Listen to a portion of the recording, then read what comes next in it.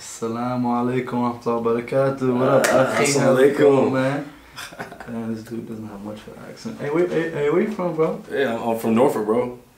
You from Norfolk? Yeah, yeah, Norfolk, Nah. Virginia. Not Sudan, not... Nah, I mean, this thing called slavery happened, and um, I, you know, my oh, people. oh, you said Norfolk, so you're with the Nation of Islam? No, no, like I'm, I'm Muslim. Like, For? Yeah. Your like, you just converted? Did your parents convert? Like, what's Nah, that? like nah, bro. I was, I was born Muslim. Serious? Yeah. Damn. I don't, Was is, is there a problem? I don't, I, I don't know, man. It's just, it's just weird. I've never met somebody that was actually, you know, American Muslim. I mean, a lot of people that I hear from just come from Egypt that are just American Muslim or Black Muslim are usually with the Nation of Islam. So I thought this was kind of the same story. I mean, thanks for stereotyping me, but if if you didn't know, like Muslims don't really have a race. We don't, we don't look a certain way.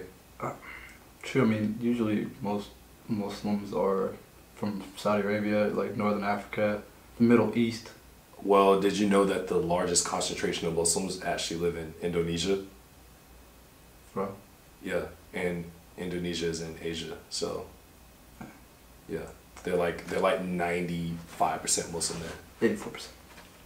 Really? Yeah, eighty-four percent. Oh damn. Just check that. Hey. Welcome everybody. This is your host, your co-host Muhammad Hassan. and Jibreel Salam. So that right there was a skit that we just played out that happens lots of times, especially for Jibreel being American Muslim, um, and that really didn't happen between us. I know better. yeah, exactly. We would have got the. But you know that I see that happening all the time. I mean, every time Jibreel and I go out and I tell them, you know, I'm Muslim, I'm from Egypt, automatically they assume Jibreel has to be from some foreign country. Exactly. So when he tells people he's from Norfolk, Virginia, they're like, same thing I said. You must be within the Nation of Islam. You know what I mean? You must have converted. There's Yeah, no way you were yeah. born into the religion. I've gotten that a lot. And we're going to be talking about race and religion. I mean, really, when it comes to religion, there is no division, you know, within Yeah. the race. Um, and probably a little bit things that both of us experienced in our life that had nothing to religion. It wasn't right, you know, hmm but we were being put off to the side, whether it's by our skin color, the way we looked, you know what I mean, where we were from. Yeah, where, just- how we it's just ridiculous, you know what I mean? And we want you guys full disclosure to know that that's not what the religion of Islam promotes whatsoever. Yeah, we're sharing our experiences of things that we've gone through uh, when we are profiled and we're stereotyped by other Muslims. Yep. And what's funny, you would think that that would happen by Muslims who are from other countries. I get stereotyped by people who are from America. Who actually lived here the whole life. Exactly. Right? Yeah. I've been stereotyped by people who are African American. I've been stereotyped by people who aren't even Muslim. You've been stereotyped by African Americans Yeah. and non-Muslims. you gotta understand people in this country especially look at black people like we're like we're a spot you feel me and so whenever somebody sees you they already they they have this prejudice that you're dangerous Mhm. and that you're you're up to no good and so a lot of times when people have that perceived notion of Mhm. you Mhm. even though you could be nothing of the sort Yep. they already reserved, right? Um, if you aren't dressed a certain way, they're already reserved. Yes. And so when you say Assalamu alaikum rahmatullahi they, they look at you and they're like, okay, so you had to convert or something. Yeah, like exactly. they don't they don't just take you as you are. Mhm. However, if you're Arab and you got long beard and you're you know what I'm saying, like you have a little bit of an accent, automatically you're deemed good Yeah. and there's no questions. That's crazy. I mean, when it comes to non-Muslims, you know, that kind of makes sense. You know what I mean? But I don't excuse it. come from Muslim, that's some shame on you. I don't excuse it. Even from non-Muslims? No, I don't excuse it. Because think about it. That's like saying, oh, if you're white, you're automatically a Christian. Right. That's what, but that's what people think, Mhm. right? Or if you're Mhm. black, you're automatically a Christian. Yep. Exactly. Right. That's if you got a big nose, you're automatically a Jewish person. Mhm. Like that's that to me is is very ignorant, Mhm. and to excuse it just because that's not your religious belief is, I no, I don't condone that at all. I Mhm. think it's it's asinine. I mean, even coming from Egypt, there's 20% of Egypt um, is Coptic Christian. You know, a lot of people don't know that. And when I'm going to Egypt and I'm interacting with different individuals, I can't tell if they're Muslim, I can't tell if they're Christian. You know, we just kind of live our daily lives. You know what I mean? Exactly. And we all we all live and intermingle one like with one another, and we have no problems. You know what I mean? Like it doesn't come up. Then it's like you get to America, and soon as somebody's from a different religion, from a different place, they're just broken up. You know, Exactly. one thing that I never understood, and I would love for somebody to educate me on, is uh, I know within the Catholic religion and I think within the Christian religion, they have a whole bunch of different sects, sectors. You know what I mean? Mhm. I think in Islam, there's the Sunni Muslim, there is Shiite Muslim, but I don't. I I don't, I don't, I don't go by any of those. Yeah, I don't You know ident- what I'm Muslim. I don't identify. When people ask me, are you Sunni or you Shiite? I'm like, I'm just Muslim, bro. You know what I mean? Yeah. La ilaha illallah, Muhammad Rasulullah. You know what I mean? So La that's that's what I believe in, you know, and, and that's what I go with. So Exactly. It, that stuff doesn't really matter Mhm. at the end of the day. Like whether you're Sunni or Shia, it doesn't matter. Like I saw this one uh, woman, she recently converted, Yeah. and it was like this big. She, it was almost like she was revealing the baby. Like, am I gonna be Sunni or Shia? And and when she was like, you know, I've decided to be Shiite. Uh, it was like an uproar or something. yeah, like people were like, "Oh my God, that's evil," and I'm like, "Yo, like that's so crazy." It's crazy how people reacted to her, you know, saying like w- what she wanted to go down as far as like the tract, Mhm. right? Like the certain practices that Shiites have versus Sunnis versus um, other other types. So that to me was was baffling to see how people reacted, right, and to see how I had to get rid of the phone to see how people were were approaching this woman that Mhm. recently converted Mm-hmm. simply because of the sect of religion that she wants to to oblige to oblige to. Mm-hmm. Um, but to stick on race, Yeah. this woman is Mexican. that's what's funny, right? Like that's what's funny. But I guarantee you, she still won't be profiled as much as somebody who is African American Mhm. or somebody that's a, a darker skin because she's not very dark skinned. Mhm. Uh, and this isn't to to focus on her. It's just to Mhm. say like people are profiled a lot based on their their skin. Mm-hmm. All right, I seen white Muslims, like Caucasian Muslims, Mm. American Caucasian Muslims, that are profiled because they're like, hold on, but you're white. Mhm. What, what do you mean you're Muslim? Yeah, is that impossible? You know, Exactly. and then I mean, what I think is even just more ridiculous is that they undermine your knowledge too, because you're not from Afghanistan, because you're not from Saudi Arabia. Oh well, he's Muslim, but he doesn't know much about the Deen. You know what I Mhm. mean? That's exactly what it is. Yeah. And then you have to explain yourself. You have to basically go out there and meet these different expectations. Show like, hey, I can sit at the Muslim table. That's ridiculous. That's crazy. Because we sit on the floor. no, but really, like, there is no table. I mean, what, what expectations? I mean, the only expectations we have is just being good to each other. I mean, and that's why we have some different ayahs in the Quran that we're pulling up, just so we can kind of show that there is no, you know, bigotry, racism that is not accepted within our religion whatsoever. I mean, we have zero tolerance for that. Exactly. You know, and even with when I met you, Jibreel, it was a little different for me because growing up in Northern Virginia, all my friends were from Afghanistan, Pakistan, Egypt. Yeah. Even if they were black Muslims, they were black African Muslims. Yeah. You know what I mean? They're from Libya. Uh, they're Yeah. from They knew they the knew, West Coast. They I knew what country they came from. They're from the West of Golden Coast. You know what I mean? Ghana, Got you. Senegal. They knew. You know what I mean? And I'm so used to when I'm meeting a Muslim. Awesome, bro. You Muslim? Assalamu alaikum, my brother. Where you from? That's the first thing because I'm so used to have Yeah. a whole bunch of different backgrounds, you know. And then when I met you, like, oh, I'm Muslim. Awesome, bro. Where you from? Virginia. No, bro. Where you really from? Yeah. No, I remember that conversation. It was know? like you were genuinely confused Yeah, and and that was I've experienced that before, you Yeah. know. So like I didn't go to school with a lot of Muslims. However, going to other mosques, a lot of like one of my good friends, uh, Ishmael, I still talk to him to this day. He's Mhm. living in Nigeria now. He um you know, like there was no difference. Like he never asked me that, but Yeah. it was but we knew, you know what I'm saying? Mhm. And you could just tell certain people would like treat you differently because you weren't from somewhere else. And and you even if it goes unsaid, you can feel it. You can Mhm. feel the vibes. You can feel the looks people give you.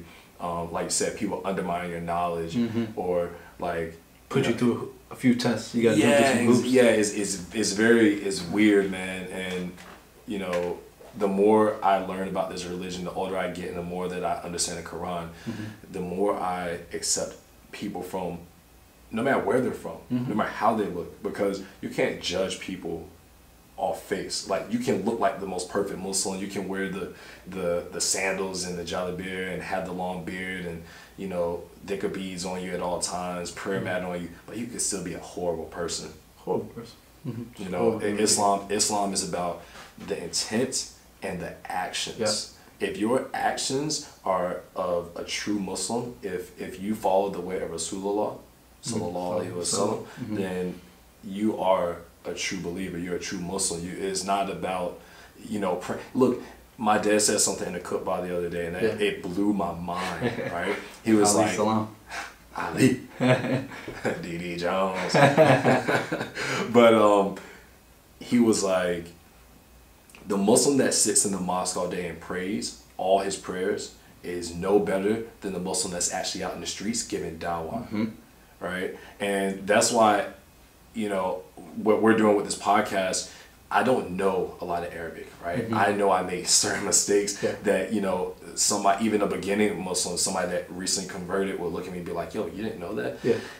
However, I've been raised in the deen, Mhm. and my actions speak louder than the Arabic that I Mhm. know or Mhm. the amount of Arabic I can recite. And. I and I genuinely believe that that is more important than being able to recite, you know, half the Quran. hmm No, I mean I would agree because those, the recitation is supposed to turn into actions. You know what I mean? It's supposed to hit you in the heart. Like man, like when you read it, it's supposed to give you that tingly feeling inside. Like man, like how can I read this and not be a better person? How can I not do good? But if you if you've always been doing good, always been trying to be a better person, serving your community, serving your people, but you're you know you're lacking a little bit of knowledge, You can learn knowledge. you can learn. You You can can, learn always knowledge. learn knowledge. You know what I mean? So, man, this is just it's, it's crazy. And I think in the youth we're doing a, a, a little bit better. I think a lot better actually. Yeah, yeah, you know, definitely. I, I would definitely give a shout out to the youth coming up because that's one thing. Man, there's powerful, powerful Muslim women and men just online, always Yeah, pushing yeah. the religion, always pushing. Um, don't want to say the culture, but always pushing like just pushing the norm. You know what I mean? Mhm. I think when our parents came here, at least for me, their first instinct was to make a living. You know, Mhm. this is country's new for me. You know, I'm coming in here, I'm Muslim, but it's like, hey, let me. Uh, right now, my goal is not to promote the religion. My goal is to kind of make face for my family and kind of establish ourselves. Now that our families are established, and alhamdulillah, we're coming up as U.S. citizens now. You know what I mean? Our, my people are U.S. citizens. You know, now it's like okay now that we're U.S. citizens and now we're one of you guys now let's start promoting our culture let's start promoting our heritage let's start promoting the religion because we have a voice now Exactly. you know what I mean at first you didn't have visa you got some papers you say something wrong Yeah, you, can you be trying to be a little bit reserved. You Yeah. know, Hasan Minhaj was saying that in the interview as well, like how Mhm. his parents didn't feel that they could speak out. But he's like, yo, I'm American. Yeah, exactly. These are my rights. Like, my I'm, rights. I'm going to say what I got to say Mhm. because there's no way I'm a citizen here and you're going to treat me as though I'm not a citizen. Yep. And I think that it, that struggle, the it's, it's, it's funny because I'm an African American Muslim and I feel that the struggle for representation is almost the same. for, for African Americans Yeah. Think about it. We same thing for African Americans where we we have a very very um, tormented history in this country, yeah and we've always had to kind of fight for our voice. And I and I feel the same way for Muslims. It's like Muslims have this very very bad rep, mm-hmm. and we have to really fight for our voice to be heard. Um, and and I think that now times are definitely getting better because the the way we can communicate is better, Mhm. right? Mhm. People people are actively looking for podcasts, yes and and we're able to provide that. So I think that we're doing a good job as of right now. However, I do sympathize with what your parents are going through Mhm. because even for for us, like Mhm. my parents, they wouldn't have thought that we would have been on a radio show, mm-hmm. right? Mm-hmm. Presenting Islam as strongly as we are now, especially the youth because they're not used to that. Um, but I think that the foundation has been laid um, from, Yes. you know, people like to joke on the Nation of Islam. They like to joke on African American Muslims, Mhm. but African Muslims, African American Muslims are the ones that lay the foundation for all other Muslims to even do what they're doing. that's crazy I never even thought about it that way because the first a lot of the first slaves that came here were Muslim. Mhm. A, a lot of West Africa was Muslim, Mhm. right? So they brought them over here, Yeah. and some of them practiced their faith secretly. Yeah. Right? They taught some of these things and they passed them down. Because Christianity was pushed on them. Exactly. Um, what's interesting fact is that uh, in a lot of the old Bibles that they gave slaves, Mhm. at the top of um, like verses, they would write Bismillah ar-Rahman ar-Rahim in Oh, Arabic wow. because they thought a lot of them couldn't read and write. Yeah. However, they didn't know that they could read and write Arabic. Oh. so a lot of them were, were because we come from the same Abrahamic uh, stem religions, Uh-huh. Judaism, Christianity. Yeah. Um, I, I believe even the Sabians before them, Mhm. right? They're they're mentioned in the Quran. So reading the Bible isn't an issue for us, Mhm. right? Mhm. So I just think that it's funny that people don't acknowledge it. And then lean into the Nation of Islam. They the Nation of Islam was was placed for black people to really uh, straighten themselves up because after Reconstruction Yeah. they were they were just in shambles, Mhm. right? Because Jim Crow and all this stuff. Yeah. So to really elevate them, elevate their mindsets, see that they could be better than where they were, and Elijah Muhammad, Yeah. the founder of um, well one of the co-founders of the Nation of Islam, Mhm. said that his son, uh, W.D. Muhammad, Walid D. Muhammad, was the one that was going to actually teach the religion. He was only implicating the, the Nation of Islam to say, this is what's going to help straighten you and, Mhm. and get you disciplined, get you Mhm. ready. Very militant, um, but teaching, like, yo, like, get your finances right, get your family life right, be a outstanding woman. Yeah. They were teaching them how to be nurses, right? Like teaching the kids. They had schools, their own school systems, getting people in the right positions in, in um, the public, right? And then to teach the religion, he that he led one of the largest. No, he led the largest mass conversion of Muslims in America. W.D. Muhammad. Wow. You And- know, Just look at the different foundations, like you said, that were laid in the different phases. So Elijah Muhammad came in, you mentioned, got people up off the streets, off of drugs, brought them closer to their family because a lot of people were just, they didn't know who their family was, they really didn't care about their family. Yeah. And then Malcolm X came in with that same mentality, but he was just, he was, he was, he, he had brute force, you know what I mean? He was really good at bringing the people together and they all laid that foundation. And then when Malcolm, you know, we were because we're talking about race and Islam. They had a it was kind of like a fine line, you know what I mean, back Yeah. uh, with the Nation of Islam because race was a big thing. Yeah, Just because, like you said, everything that they went through, that our Exactly. that our people went through. So it's kind of like, man, well, we have to fight our oppressor in a way. You know what I mean? So Yeah. that's where all the really, you can say hatred, but I would say just where the division was like, hey, you do your own, we'll do ours. You know what I mean? Yeah, don't exactly. don't bother us anymore. and you can't blame them. Like you Yeah, have to sure. build up yourself For after sure. going through all of that. For sure, man. Right. That, that's just like, you know, a wife being with a husband that just kept beating her, you know what I mean? And all of a sudden she's like, look, I'm out. I'm out. I'm done with you. I'm trying to get my own house. Yeah, I'm trying to get my own finances. Exactly. And the husband keeps trying to abuse. Yep. But what's important is, you know, a lot of people think the Nation of Islam was like, oh, the white man's the devil. They, they Mhm. know that part, Mhm. Mhm. right? And they were teaching that for a while. Mhm. And now we're talking about Malcolm X. Yep. I believe we do have the letter that he wrote after he went to Hajj. Mhm. Um, when he went to Hajj, El Hajj Malik uh, Shabazz, right? When he returned, he saw that it wasn't about just the black struggle. It wasn't just about black people. It was the integration uh, that Islam promoted. That it didn't matter where you were from, where you were born, what language you spoke, how much Arabic you spoke. When he went to Hajj, he didn't even know how to pray. He didn't know how to pray properly, right? So he went there Yeah. with the heart of Islam. The intention. Exactly. He had the intention.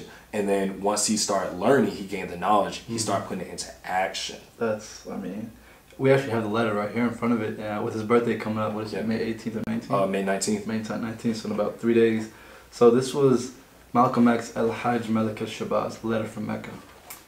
He said, Never have I witnessed such sincere hospitality and overwhelming spirit of true brotherhood as is practiced by people of all colors and races here in this ancient holy land, the home of Abraham, Muhammad, and all the other prophets of holy scriptures. Peace be upon all of them. For the past week, I have been utterly speechless and spellbound by the graciousness I see displayed all around me by people of all colors. So just stop right there. Yeah. Humble. You know what I mean? He just not only humbled, he was just overwhelmed by the brotherhood. and these were people of all different shades. You know what I mean? All Yeah, different yeah. colors, and he just said he was speechless. You know what I mean? And one thing that I love when I met you, Jibreel, and your family, you know, I'm from Egypt, and the majority of people that are in Egypt are lighter skin, fair skin. You know what I mean? The, the uh-huh. minority is the people, which is my family, my culture, which is the Nubian tribe, which is southern Egypt and upper Sudan. You know what I mean? But that never changed the brotherhood. And one thing that you always told me, bro, is like you had to kind of knock into my head. You like, you know, like Mo, you're black.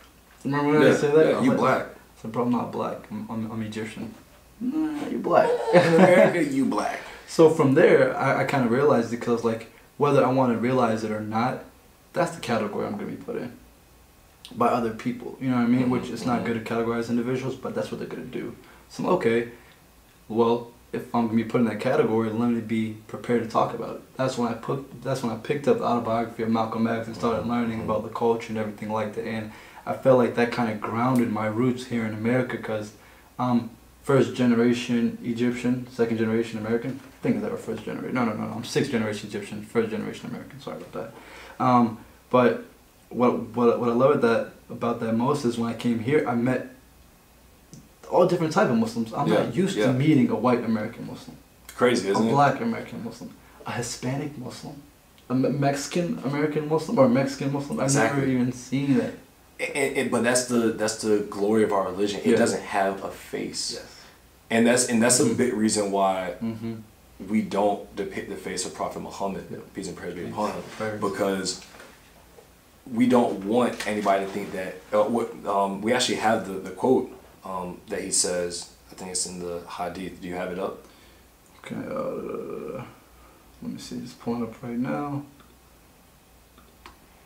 and, and you know why I found that you know it, it's important to, to know that it doesn't matter where you come from it doesn't matter what your ethnicity is Mhm. it's about what your beliefs are Yep, I actually have right here. So Alright. it's Surat Al-Rum, um, Surah 30, Ayah 22. Among his signs is the creation of the heavens and the earth, and the diversity of your languages and your colors. Verily, in that are signs for people of knowledge. surely Allah speaks the truth so that was actually out of the Quran and that was which surah That was Surat Al-Rum, Ayah 22. okay so it, it, it explicitly says right then and there like this is for people of many different languages many different tribes many different areas of the world and no one people have uh, domination over another. Mm. all right just because you come from one place and you were born there doesn't mean that you're better than i am. That's arrogance, exactly. You know? pride. It's and, pride. and, and there's there's no room for that in islam. Because it's, I've met people from, you know, Saudi Arabia and everything like that. They're like, this is where Islam started. I understand that, you know. I know my history and everything like that, but what does that mean? You know what I mean? Alhamdulillah, like our religion spread so much that I've actually had the blessing to actually come to us too, Mhm. you know. But just because it started there, that doesn't mean that it's only there. You know what I mean? Exactly It's everywhere. It doesn't mean it doesn't mean that that's where it's the richest. Yeah, Right. yeah. Like the, Mhm. the, the best Muslims come out of here. Like th- there's no such thing. No. Like there's no there's no like uh, place where these Muslims are the best type of Mhm, Muslims. They're the most purest Muslims. like what? That makes no sense. It makes literally no sense. So you know that's just something that's. You know what? I'm gonna share this story. Mhm. And I, I think I told you about, no, you were there when I first met you and Uh-huh. when we first went back to the Ridge, when we first went up to Northern Virginia. Um, the ridge, baby.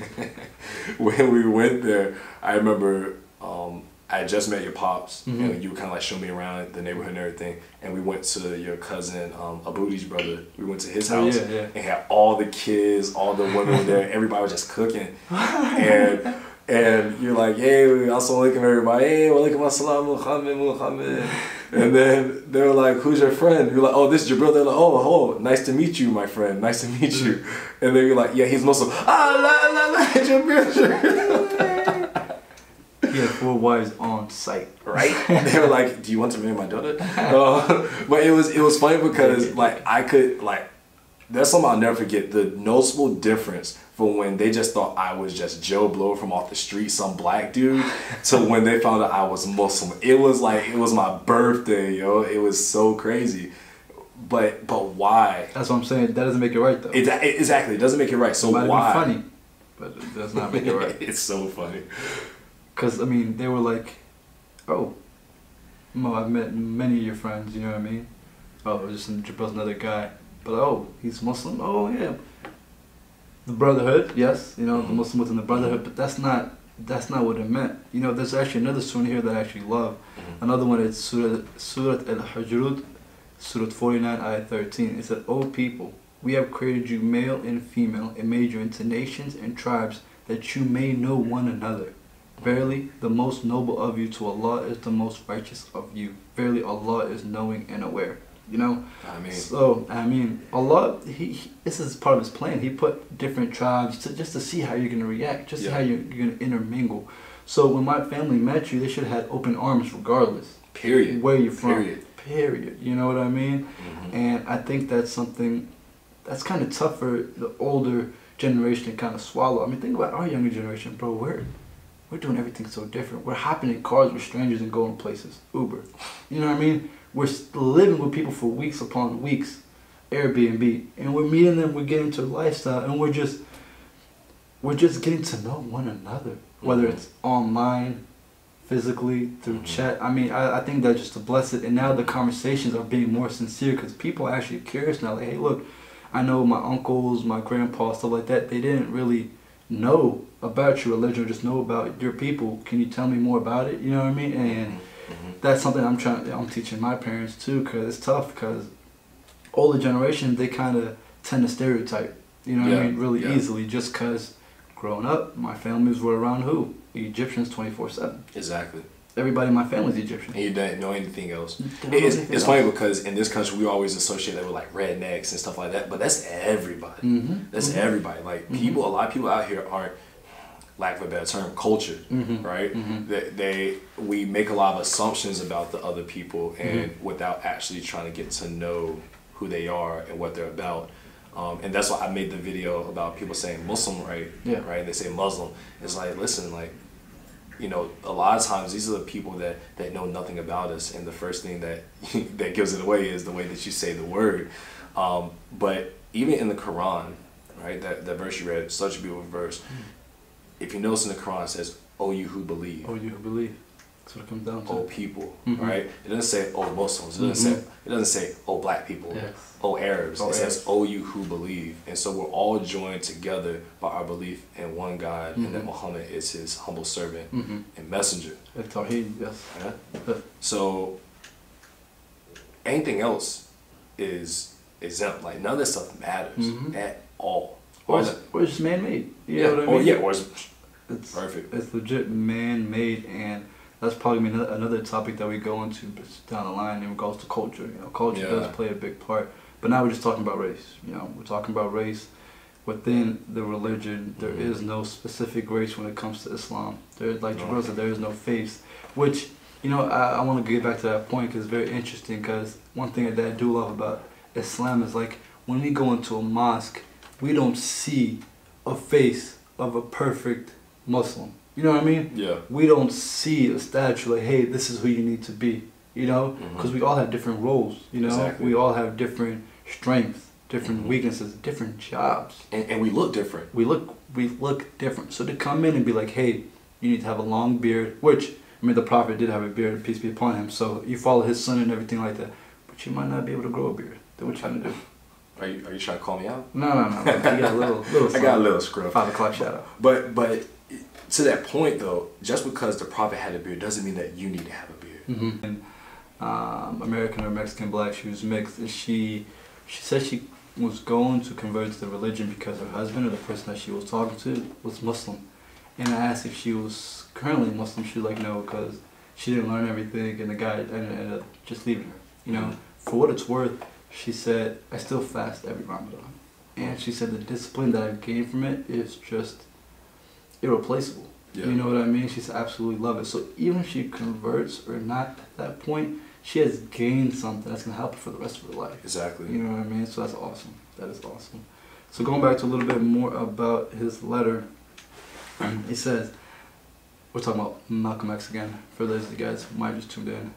I have been blessed to visit the holy city of Mecca. I have made my seven circuits around the Kaaba. led by a young Mutawaf named Muhammad. I drank water from the well of Zamzam. I ran seven times back and forth between the hills of Mount Al Safa and Al Marwa. I prayed in the ancient city of Mina, and I prayed on Mount Arafat. There were tens of thousands of pilgrims from all over the world. They were of all colors, from blue eyed blondes to black skinned Africans. But we were all participating in the same ritual, displaying a spirit of unity and brotherhood that my experiences in America had led me to believe never could exist between the white and non white. Wow. wow. This man's third eye opened up. For those of you guys just listening, you can't see me. I'm just, I'm just dead. well, they can see you because we have a YouTube channel. Make sure you guys go and subscribe. Yes, yes, yes, yes. The Young n Muslim podcast. Oh yes. So, this uh, that that that paragraph in itself just summed up. The entire letter. Yeah, and it just Summed up up everything that we were just talking about. They were of all colors, from blue-eyed blondes to black-skinned Africans. hmm Exactly. You know that leads into this uh, hadith Mhm. that I that I found, and uh, Prophet Muhammad was cited saying, "Certainly, mankind is of two types: Mhm. the true believer who has piety and nobility to Allah, Mhm. and the sinner who is lost and despicable in the sight of Allah." That's it. That was none. He didn't say nothing about no skin color. You in two channels. Either you on or you off. Period. Ain't nothing else. Either the light's on you or it ain't. Period.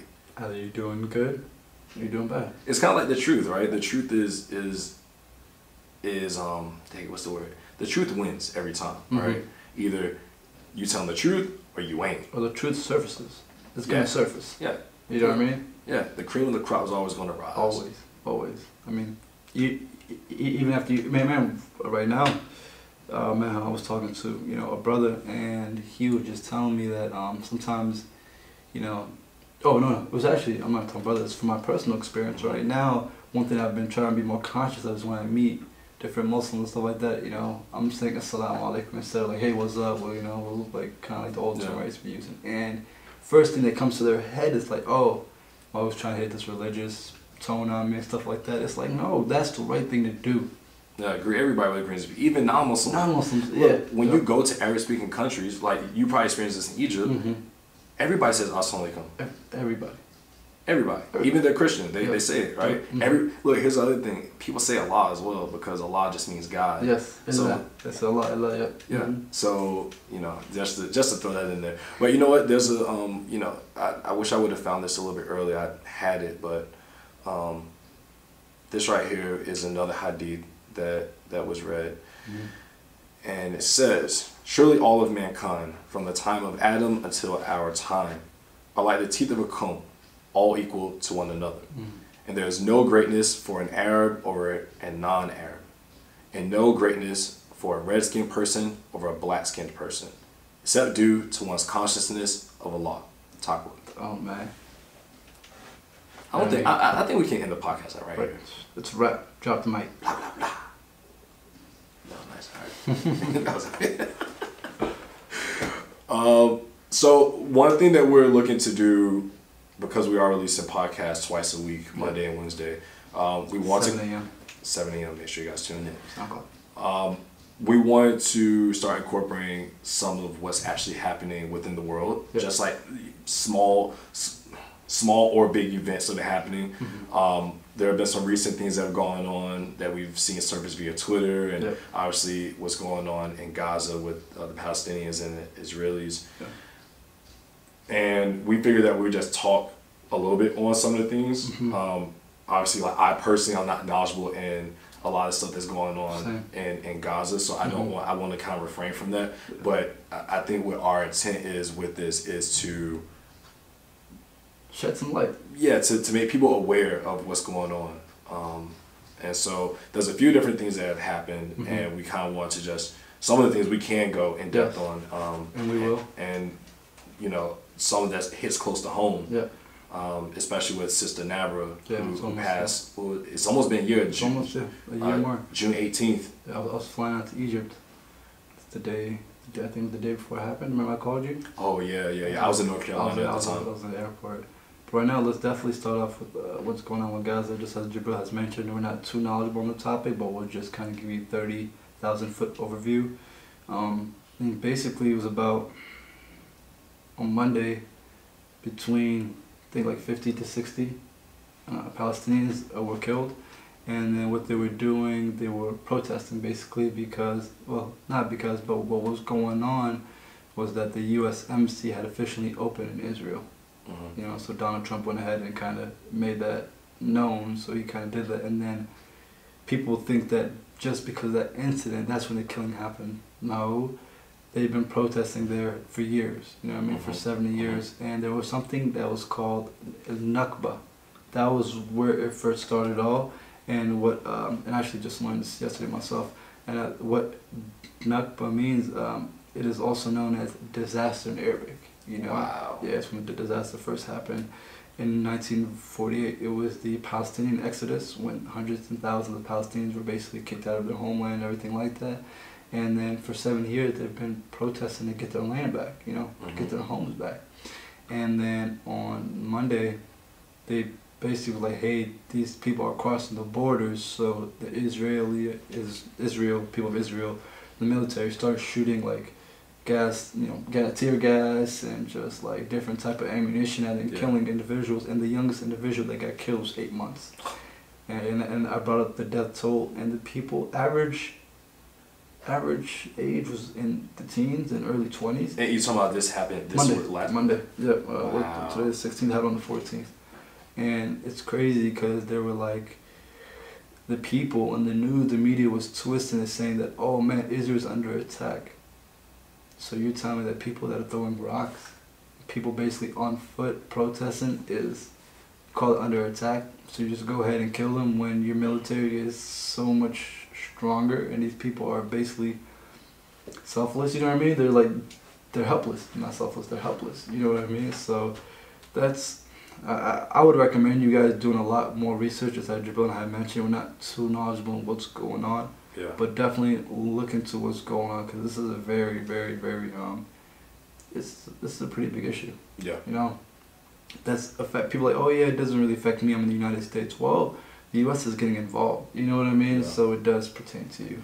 Look, I think above all else, Yeah. right? above all else. Um, people are people. We're all stem from the same family, Yeah. right? We all stem from the same soul of the world. Yeah. And for people to be so cutthroat Yeah. and to have this mentality of us versus them, or it's going to be us or them, hmm um, just killing innocent people is is crazy. And condoning that, um, Yeah. thinking that there's any reason to do that is is crazy. Um, you know, the prophet said that killing one person is like killing all of humanity, Mhm. and people now we're seeing people have this coldness in their hearts because listen i remember growing up people used to say don't play grand theft auto because it teaches kids to be bad and stuff Mhm. like that right and you know a lot of the games about killing and stuff like that and look i played those games sure. I, I enjoy them however i think that we're i think that there isn't a limit there's no people aren't putting a self-imposed limit on how much of that stuff that they expose themselves to hmm right? They're they're burning themselves out. They're burning out their their their their heart. You feel Mhm. me? Because it when you're when you really don't have any sort of sympathy You towards something like this, you get cold inside. And I, I'm seeing people that we've we've known for years that are like, oh, like let's go USA, going, and I'm like, yo, like, you realize like children Yeah. are getting bombed. Like, could you imagine our houses getting bombed? Every, Like- every other day. Yeah, crazy. Like, and, and I, I I was watching a lot of what was going on in the Gaza Strip, um, Mhm. like middle of last year, because I, I was I was donating to different um, charities that Mm-hmm. uh, Iman, who we, we shout out in the last podcast, she um, had a tweet that went extremely viral, and that's when I first got to know her. Mhm. Um, I started donating to different organizations that you know I researched, and I was like, okay, these people are doing what's right, Mhm. and so on and so on.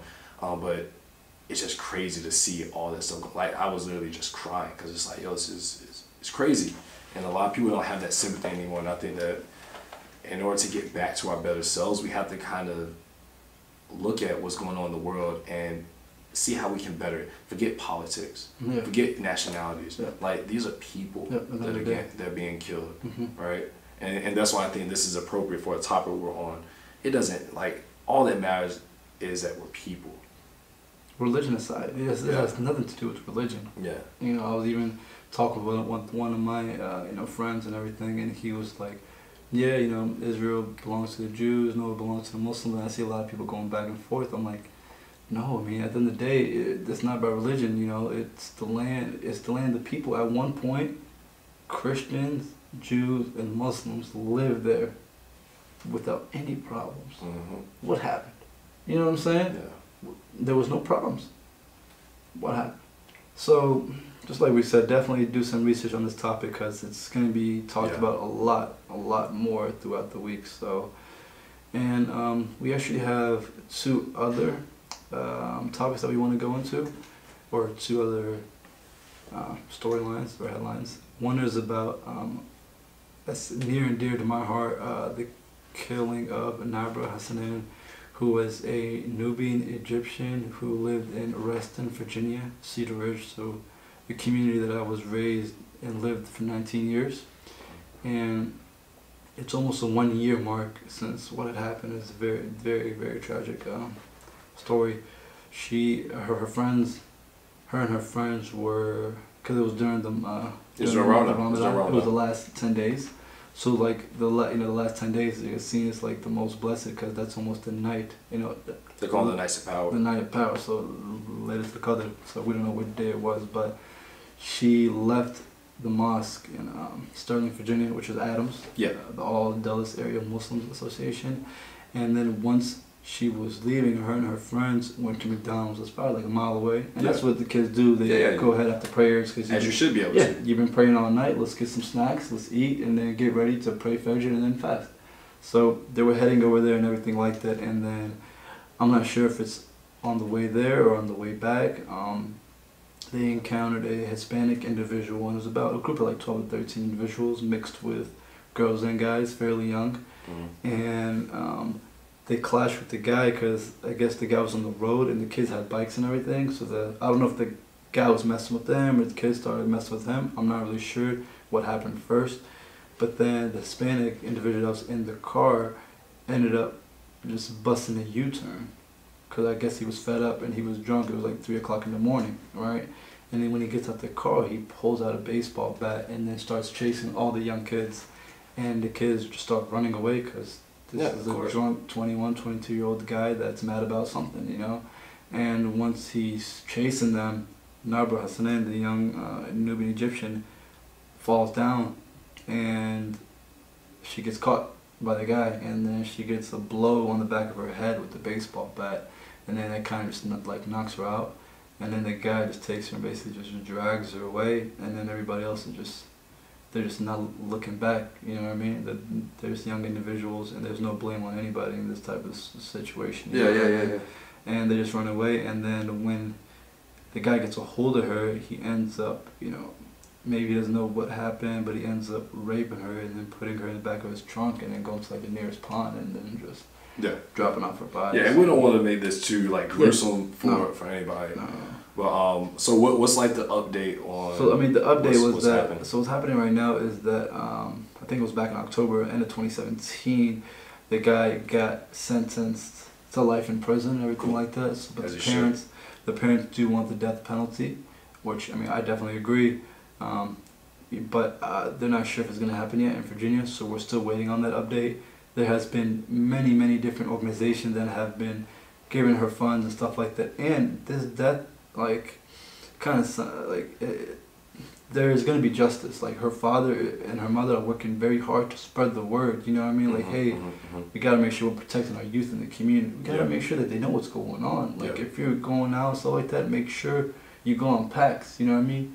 Know that this is real. Some people don't like Muslims. That's, that's just real. You know what I mean? They don't like people of faith in general. You know what I mean? So just make sure you're safe. Make sure you're cautious.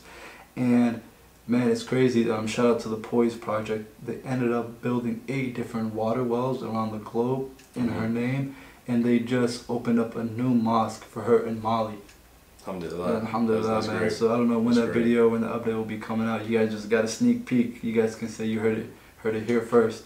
Um, but yeah, man, that was just you know something near and dear to my heart because she was from our community. But just to see a mosque that was opened up for her, everybody that comes in there and prays, she's gonna get the blessing for that. I Yeah. mean, Yeah. so That's great, man. I mean, look, I, I know that's that's a yeah, tough very, to talk very, on. Um, but at the end of it, uh, at where where the end of this story is, Mhm. it's something very positive Yeah. that has come out of it, Yeah. and um, the sacrifice that she paid, man, is is tremendous. Mhm. However, I think that a lot of people will be safer going forward. You know, Mhm. a lot of kids are gonna be safer now from now on um, because of that, right? And it it's just crazy because you know I think like yo that could be my sisters, Mhm.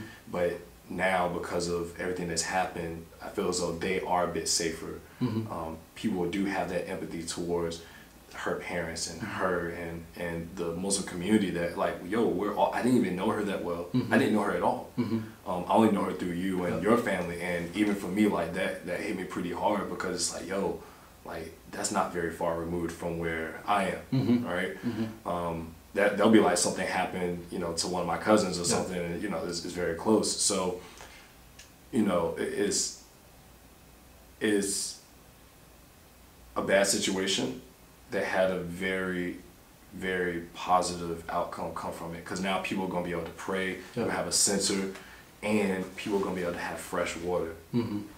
you know i think that's very positive so at the end of the day um, yeah we want to we don't want us to be doing No, no, we no, want we want to be you know upbeat with it um, however one of the the last topics uh, that that surfaced was it um, last Yeah. it was last week Mhm. a young Sudanese girl um, who was put into a forced marriage by her parents in Sudan. Her name is uh, Noor Hussein. Mhm. She was forced to marry this individual uh, in in Sudan when she was 16 years old. Yeah. And instead of marrying him, she decided that she wanted to flee. And for three years, she stayed with her aunt. Um, and, and she stayed there, and, and I couldn't imagine, you know, what, what she was going through.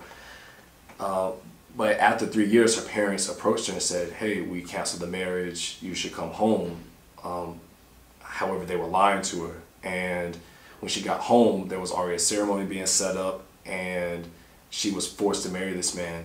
And days after, she still wouldn't consummate the marriage, and this man had three of his relatives come hold her down, and he raped her.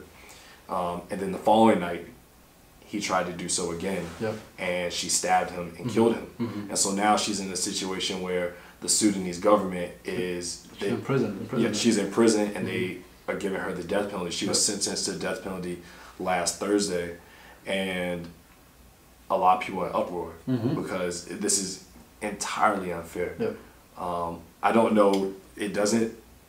The article that I have doesn't necessarily say what faith they are, um, but in Sudan, I know it's predominantly Muslim. There's Christians in Sudan. Yep. Under those principles, at no circumstance, under no circumstance, is it the man's right to force a Mm. woman into having Mm. Sex with them. If the woman says no, she says no, even for the marriage, even if they're trying to Yeah, like, exactly. hey, I found somebody, but they're like, no, I don't want him. That's it. I mean, that is that is end of story. You know what I mean? Yeah. Nothing more. And so there's so many wrongs in this story. Mhm. Um, however, there have been so many people that have been sending her letters, Yeah. and a lot of people are protesting on her behalf.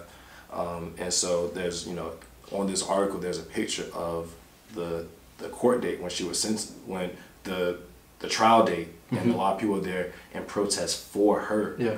Um, and so, you know, all we do, we can just send our prayers and um, our best wishes for humanity that, you know, justice prevails and that she is she is acquitted of all charges. But think about me, we're with all these different recent events, we're trying to pull the positive out of it. You know Yeah, what I mean? of course. That's the goal. And for this, who knows? Because of what happened with her and just the uproar, this might be the last time that anything like this ever happens. Mhm. You know what I mean? And Mhm. in Sudan or other different countries, stuff like that might happen every single day that nobody knows about. Yeah. So that is the power of the internet. That is the power of people coming together and supporting a cause like this. I think right now it's it's on what is the hashtag Nura Mhm. I think you can find it on Twitter and everything like that, and you just see just the unconditional love with different individuals that are reaching out and just like Jibreel said, writing letters, reaching out to her and tell her like, hey, what happened is, you know, s- stay strong. You know what I mean? Like Yeah. stay strong in this situation. I, I mean, I'm I'm really curious to see what comes out of this, man. Yeah, no, definitely. I'm definitely be keeping in touch with this. Oh yeah, and then the last story. It, this one isn't funny, but it's like, yo, this man got the hands. Savage. Uh, Yeah. Uh, so this this Muslim sister in Atlanta, Georgia, uh, was assaulted by a man whom she was delivering food to. She's a, a, a food delivery driver, um, and one of the customers that she dropped off the food to grabbed her by the niqab, that's like the, the full headscarf, and he was uh, he yelled to her, "I'm Jesus." Crazy, right? Uh, in the process of him going through his wallet, Oh yeah, in the process of him going through his wallet, like to give the food, He he, goes. "Oh, I'm Jesus," and she, I remember her, she was like, "Yo," I, I was like, "What the heck?" And so as she leaves, actually a 20, cuz. um, she felt. She says that uh, as she was leaving, she felt the 54 year old man grab her headscarf from behind, um, and this is her saying this. He he's grabbing me and trying to choke me with my own niqab. Yeah. I kept telling the man I've got kids. In the midst of me fighting him, he grabbed my head. Yeah. He thought he was Jesus, but Jesus would do that to nobody. Mm-hmm. And she is exactly right. All right. Uh, according to the news station, she used her finger to poke his eye and her car key to fight back. Sister came. You go, girl. egg. You mm, go, sister. Mm, mm, yes. Uh, in the midst of me stabbing this man, he's saying, "Oh, that feels good. Like just this is sick." Uh, he seemed normal. Anybody, anybody would have went in. Police are said to have arrested the Mr. Painter after Miss King job, called police. nine one one. Yeah, good stuff, police. They, they get a lot of slack, especially from you know you know the black community. But I think in this instance, they, they came in, they did their job brilliantly. But let round of applause for, for, for Sister King because she she did her thing. Man, she that, that was a life and death situation. Yeah. Dude, man, it's just so hard for females, just of any race, of any faith, man. I just my sympathy for you guys because Yeah. it's like I couldn't even imagine. I never think about anything like that. You know what I mean? yeah. I go somewhere, I'm good. You know, so sisters, you know, carry just women in general carry something on you, pepper spray. Yeah, Like yeah. you never know. hmm And I say all women. All right? women. That's what I All- said. All, all women. It's funny because after you know Trump got elected in and and you know how he felt about Muslims and things like that, Mhm. you saw a a bunch of people starting to just be forthcoming with how they felt about Muslims, right? They Yeah. were showing Islamophobia and they were they were just doing the utmost, right? Mhm. a lot of that stuff was happening to women simply because you can identify a Muslim woman. Like somebody's not gonna look at you and be like, "Oh, you're Muslim," Yeah, exactly. right? Exactly. Um, but we look at the women, and because they wear the hijab, um, the hijab, by the way, isn't just a scarf. The the hijab is how they dress in Mhm. entirety. Mhm. Um, the modest, the modest way of dressing Modest look, yeah. um, is is very easy to spot a Muslim woman, kind of like a Sikh, a Sikh man, right? Mhm. So we can identify them a lot easier. So it, you know, it's, it's, it's just crazy because they get all the slack. But here's here's what she said after all that. This this right here, I love this because this goes right back to everything we've been saying. By the love of Allah, I knew He was not going to allow this man to kill a believer. Uh, Yo. Yo, she was not playing no games. Rewind. It's the remix. yeah, like she she was like, listen, I got law on my side. Mhm, She she was fighting, man, and I, I have so much respect for her and just women in general, women of the faith. I have respect for for Muslims out here. Anybody that's gone through any sort of torment, Yep, teasings, yeah, the struggle, man, is is real. Yeah. It's real. So yeah, that's that's all the, the news that we have for the time being. Mm-hmm. Uh, we think we're going to make this kind of like a, a regular thing. We're going to try and have a mixture of news. So yes, we have a pilot for this. I can, you guys probably driving and I probably had to stop the car a few times just to kind of hold in all the tears or something, man. Yeah, man. But but you know, it is. Look, I, I think we're in a position in the world where the world is getting better because is. stuff like this is actually being called out. Yeah. Right. Um. Uh, fifty years ago, sixty years ago, It just happened. it, it just happened. You know, like people would just disappear in the black community. Like relatives, your your your kid would disappear and you wouldn't see him again. That's you know what happened to him, right? And that's why you know we went to the African American History and Culture Museum. The story of Emmett Till is so important. A lot of people think about his face and, and, and stuff, right? Which is very important. But one thing that I realized that was more important was they tried to sink him after Yes. they beat him, Yep. but he rose back up to the top, and his mom said leave the casket open so people could see him. His mom was a real trooper. Exactly, because she one thing I because she understood, She bro. understood. She understood what that was going to do, and to this day, it still affects people. So being able to, you know, talk about what happened to Nabra, and what's happening to Sister Nura, Mhm. and what happened to Sister King, Mhm. and for that to be out there and to get news coverage is important because that means that people know Yep. one, don't mess with Sister King. Mhm. right? Two, that we have to cover our women. We have to, as men, we need to protect our women more, especially in the Muslim community, because we are being targeted, Mhm. right? Um, and then three, right, for, for other incidents, just skin related, like stuff like this. Like it's out there and we're Mhm. talking about it. And Mhm. people now know we're, we're forthcoming about like, yo, listen, we, we, we're all inclusive right now. We don't, we don't, we don't discriminate. We're, there's no colorist here. No. You know what I'm saying? Because racism is a system. Colorism is the color of the skin. I just learned that not too long ago, and I want to point that out. Oh. Fact of the day. Hey, so uh, is that is that it? Like, Yeah, man. I mean, now it's just we want to hear from you guys. You know, we want to hear from our audience. Um, so the Young and Muslim podcast, you can find us on SoundCloud, Google Play. We even just started our YouTube channel, so you can find us on YouTube if you're a visual learner or just visual individual. You just want to see Jibreel's face. Yeah, yeah. Hey, always smiling out here. I'm getting tired of it. hey, you just said in the last podcast that smiling was a, a form of worship, I did. and, and, and, and charity. Come on now, zakat, bro. Don't You're don't right, don't. you're right, right. Come on, man. I'm giving zakat on the daily. Forgiveness, my brother. Hey, And what else? You guys can find us on Twitter and Instagram, both at Young and the letter N Muslim. That's Young and Muslim. Um, and please uh, uh, reach out to us, or if you just want to send us an email, it's youngmuslimusa at gmail.com. We want to thank you guys for joining us today and listening to us, uh, two brothers and best friends, just having fun. oh yeah. Just having oh, fun Oh, yeah. guys. So we're gonna hit you with the greetings of peace. Assalamu alaikum.